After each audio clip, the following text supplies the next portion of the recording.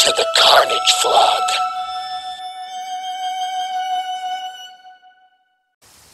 The Journey of Cletus Kasady by Siike and Destroy. David Michelinie, co creator of Venom, planned to have the symbiote's human host, Eddie Brock, be killed off in The Amazing Spider Man 400, just 100 issues after his debut in Amazing Spider Man 300. Then the symbiote was to jump around the Marvel Universe, bonding to different heroes and villains and various stories. That plan fell apart when Eddie and the symbiote together, calling themselves Venom, became far too popular to kill. Marvel told Michelinie to create a new character in order to execute his original plan. This time, Michelinie came up with someone who was the opposite of Brock, a true psychopath who lacked empathy for innocence. What would this character's name be? A being that would only exist to spread chaos. Ravage, maybe? Chaos? Maybe that was too obvious. Hmm. First, this new, more evil symbiote suit would need a human host. Cletus Kasady was designed by artist Erik Larsen and first appeared in the pages of The Amazing Spider Man 344. Then, the concept of his other was born, literally. An offspring of Venom, Carnage first appeared in The Amazing Spider Man number 361. Cletus Kasady shared a jail cell with Eddie Brock, but when his symbiote showed up to free him, it left behind an offspring, which wiggled its way into a cut on Cletus's hand and spread throughout his bloodstream. From that fateful day, less than five years after Venom's creation, Carnage began wreaking havoc on the Marvel Universe, and just like his father before him, became far too popular to kill. But who was Cletus Kasady before he became Carnage?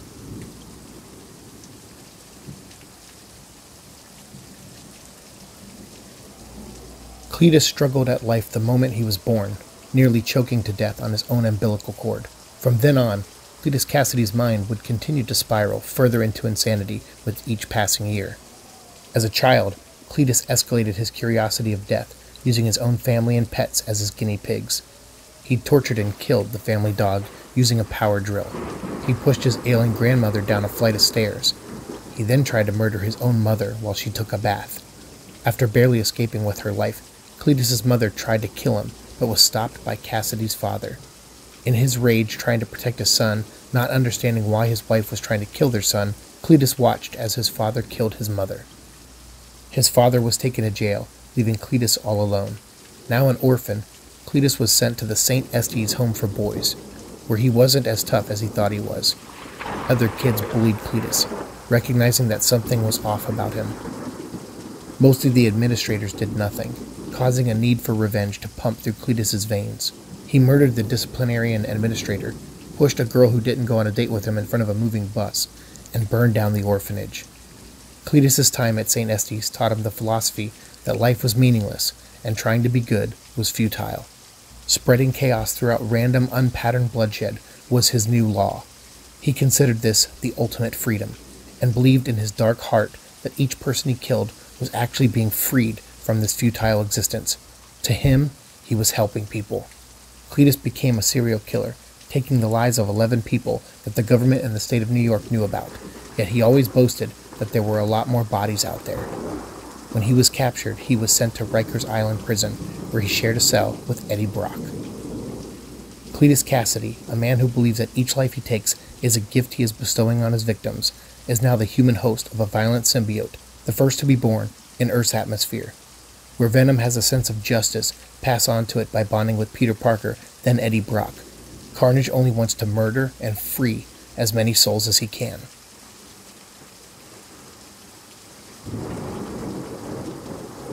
After becoming Carnage, Cletus has brought even more misery and destruction to the Marvel Universe.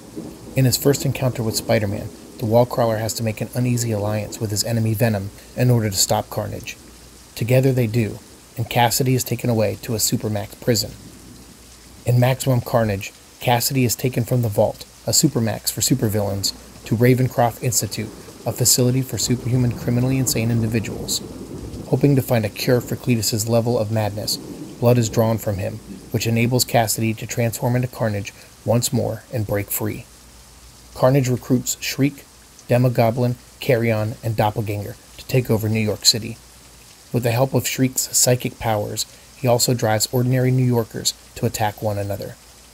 Carnage and his new family, as he calls them, are defeated by Spider Man, Venom, Cloak and Dagger, Deathlok, Captain America, and more, with Carnage and Shriek sent back to Ravencroft. In the years that followed, Cletus broke out of Ravencroft a number of times. He tried to kill his only childhood friend, Billy Benton, but failed when Spider Man intervened.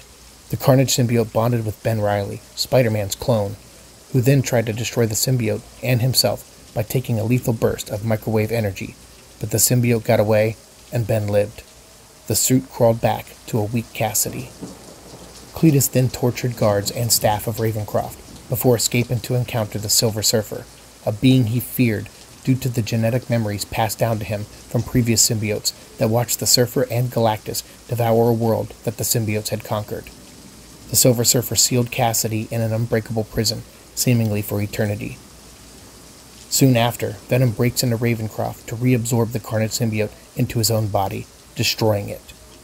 Driven even more insane without his symbiote, Cletus covers himself in red paint and continues his killing spree, claiming that he still has some of Carnage's strength. Spider Man easily defeats him. A year later, Kasady gets pulled into the negative zone, where he's guided by a strange voice to another symbiote that was kept sealed in the strange dimension. As Cletus bonded with it, the mysterious voice reveals itself to be the remnants of the original Carnage symbiote, which absorbed the new symbiote to regenerate itself and become Carnage once again. When Venom finds out that Carnage is pregnant, he tries to kill both Carnage and the offspring. He fails when Spider Man intervenes, and the offspring bonds with police officer Patrick Mulligan, becoming the antihero known as Toxin. When the villains escape the Raft prison, the Sentry flies Carnage outside Earth's atmosphere and rips him into two. Once again, Carnage is not dead, and neither is Cletus Kasady, as it's revealed that the top half of his body was preserved by the symbiote and repaired by a prosthetics company. Without his legs, Kasady reclaims the symbiote and becomes Carnage once more, battling Spider Man and Iron Man on a quest to rebuild his Maximum Carnage family. Some time passes, and Carnage is once again pregnant. This time, the suit tries to bond with Shriek, but ends up bonding to a new character named Tanisha Nieves, creating Scorn. On the run from Spider Man and Iron Man, Carnage arrives in Doverton, Colorado. He bonds the townfolk to copies of his own symbiote. Captain America, Spider Man, Wolverine, Hawkeye, The Thing attempt to defeat him, but all except Spider Man are bonded to Carnage's copies. Now alone, with a few surviving townfolk, Spider Man teams up with Dr. Tanis Nieves as Scorn, along with the separated parts of Hybrid, which make up Agony, Phage, Riot, and Lasher, who were all sent in by the government to take down Kasady. As the battle ensued, it was clear more help would be needed. In came Flash Thompson, Agent Venom. Agent Venom is about to kill Carnage, putting a gun in his mouth, but Spider Man stops him. Scorn uses a device that she built to permanently remove the symbiotes from Carnage and Venom.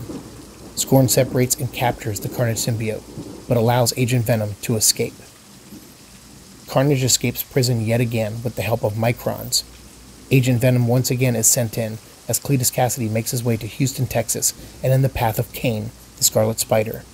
Carnage kidnaps a doctor and escapes into the microverse, but Venom and Scarlet Spider retrieve him and save the doctor. Scarlet Spider impales Kasady through the eye, lobotomizing him, sending Carnage into a catatonic state. The symbiote keeps Cletus's body alive, but Kasady's brain and mind are permanently damaged, which leaves the symbiote in control. Now lobotomized, Cletus is broken out of prison by the Wizard and the Claw, who intend to recruit him into the Frightful Four. The Wizard tries to take control of Kasady's mind, but can't due to the damage, so he then transfers the symbiote to Dr. Karl Malus, who dubs himself the Superior Carnage.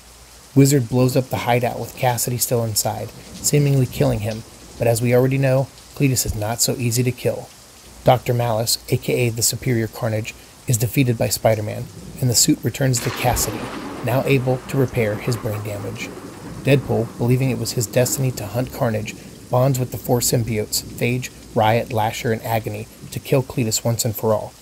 Like everyone before him, Deadpool fails at killing Carnage, but does manage to trick him into wounding Shriek and turning himself back in to the authorities. An event called Axis turns all of the villains in the Marvel Universe into good guys for a short time, allowing Carnage to become the hero he was never meant to be.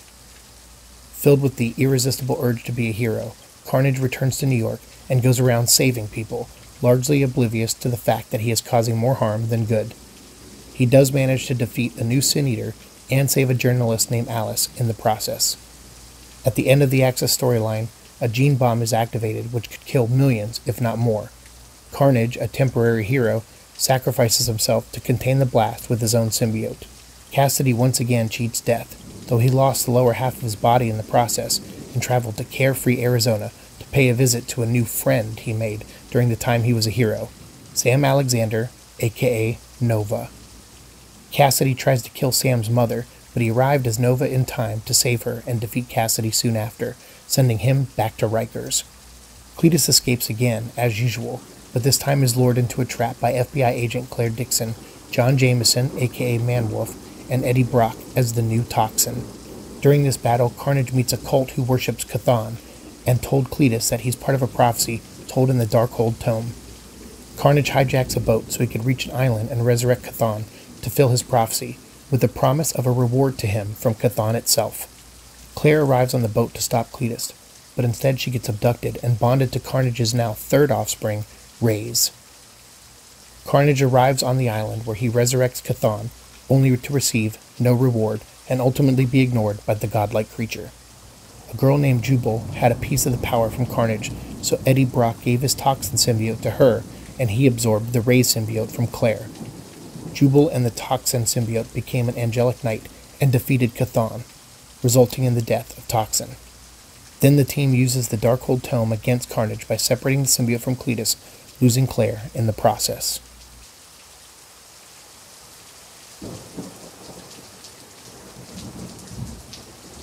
From there, the Carnage symbiote is stolen and given to Norman Osborn for a brief time, turning him into the Red Goblin. As the Poisons launch an all out assault on the Marvel Universe in Venomized, they search for Cletus Kasady, who is no longer bonded with Carnage. The Poisons bond Cletus with a symbiote of their own, then infect him with a poison to have Carnage under their control. Due to his mental instability, Cletus was able to resist assimilation. He battled Venom and Spider Man, nearly killing them both before being tossed back into space by Venom. This brings us to a few months ago when Cletus's body drifted back to Earth, burning horribly in the atmosphere before crashing down on land. He is found soon after by Dr. Nieves and the new cult that she has aligned with, which believes Cletus really is part of a prophecy, just not the one spoken about in the pages of the Darkhold tome. They have discovered that anyone who has ever bonded, no matter how briefly, with a symbiote still carries a small piece of the symbiote with them, which the cult has dubbed a codex. Having learned about Knull, an ancient godlike being born in the darkness before the Big Bang, and the creator of the symbiote race, the cult wants him to be free from Klyntar, which acts as a locked cage, imprisoning the Dark Lord. Cletus Kasady is their key, so once again Cletus escapes death when the cult resurrects him. Dr. Nieves sacrifices herself and feeds the codex within her to awaken Cletus, sending him on a new mission to gather all of the codices, rebuild himself as the Grendel of Knull, and bring the universe back to its original state complete darkness. Tune in to our next episode as we begin the next chapter in the life of Cletus Kasady with our review of Absolute Carnage number 1. And don't forget to come back each week as we not only review and discuss each issue of the Absolute Carnage miniseries, but all the tie in issues as well, as we begin our Summer of Carnage right here on the Venom Vlog.